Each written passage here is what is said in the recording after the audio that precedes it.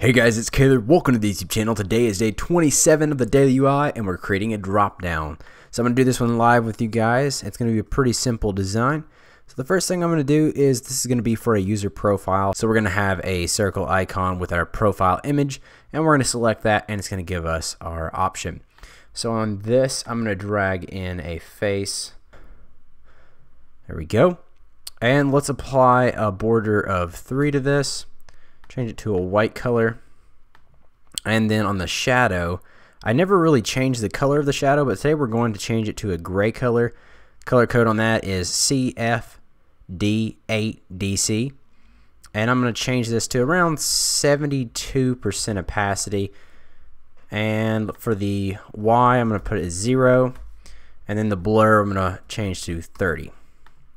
So we have this nice, subtle gray drop shadow on our icon. All right, so let's size this thing up just a little bit. Let's go, uh, let's try 100. Yeah, that's a decent size. All right, so I'm to leave that there, and let's create our first uh, rectangle where our information is to go. So this is to have uh, something like my profile in it. Uh, let's change the height on this to 90, and the width I'm going to go with 400 even probably. Okay, and this is going to be a placeholder, and so inside this we're going to put my profile. I'm going to change the color, and the gray I'm going to be using is 455A64. It's a blue-gray color. Whoops, delete that. All right, so I'm going to drag this into position and space it 40 from the side, 10, 20, 30, 40. Looks good. And I'm just going to copy this a few times and kind of position this where it needs to be. So there's our second one, third, fourth. I think four might be good for now. So this one I'm going to have something like notifications. Notifications. And then let's do uh, let's do projects. So this might be some kind of design management app or something. And then settings. And I'm actually going to add one more. Got to have that sign out button. So let's do log out. So those boxes were just created to get us some good spacing and so we can align things that we need to inside of this. So the first thing I'm going to do is this one is going to be selected, so I'm going to change this to a blue color. My blue color code is 2196F3. And I want to also mark this with a rectangle possibly. So let's just make a rectangle here. And let's go 10 on the width. And I'll leave the height uh, 90 to match our box for now. And let's change it to our blue color. So we have something like that. Obviously, this is overlapping this border, but we're not going to have these visible here in a minute, so that's okay. Uh, for the notifications, instead of doing like a circle uh, to show that we have notifications, that we need to check. I'm going to do a rectangle and then border radius that all the way. And let's size that down just a bit. Okay.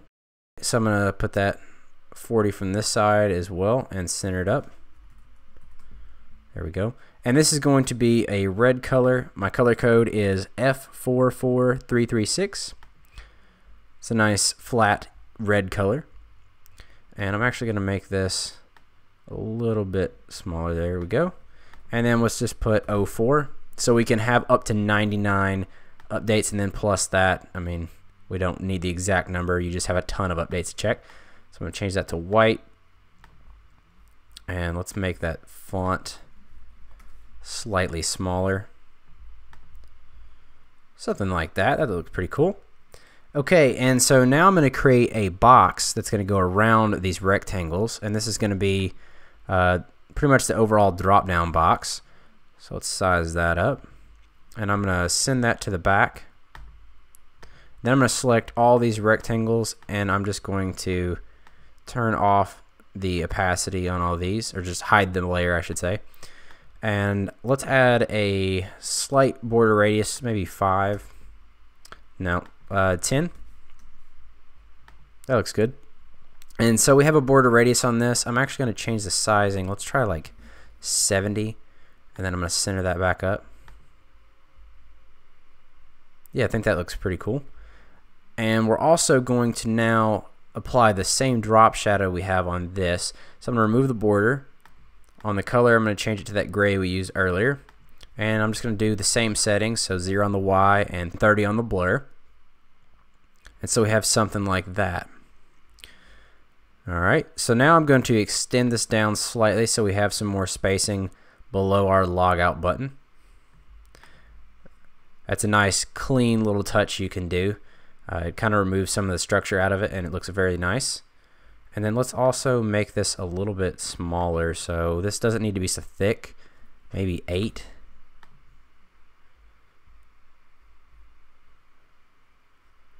Um, I'm also going to lower the height on that, like maybe 60.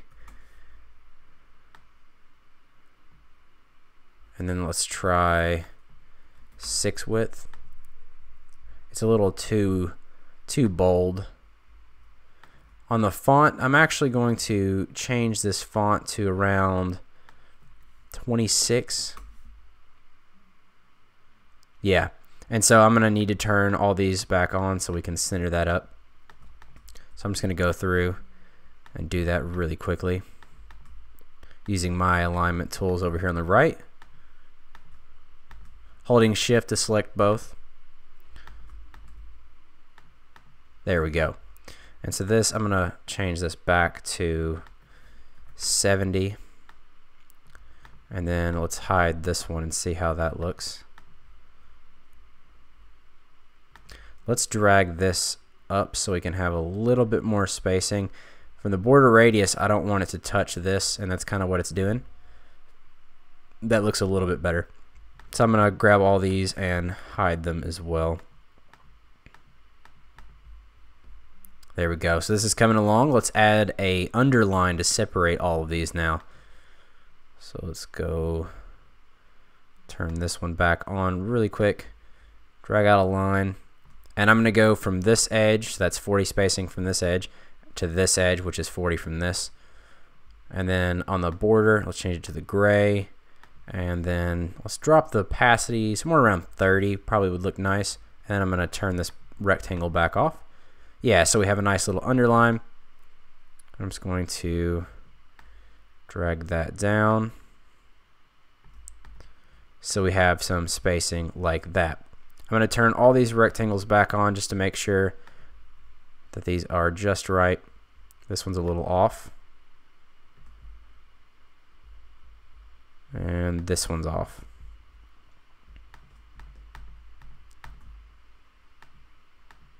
Hide all of those again.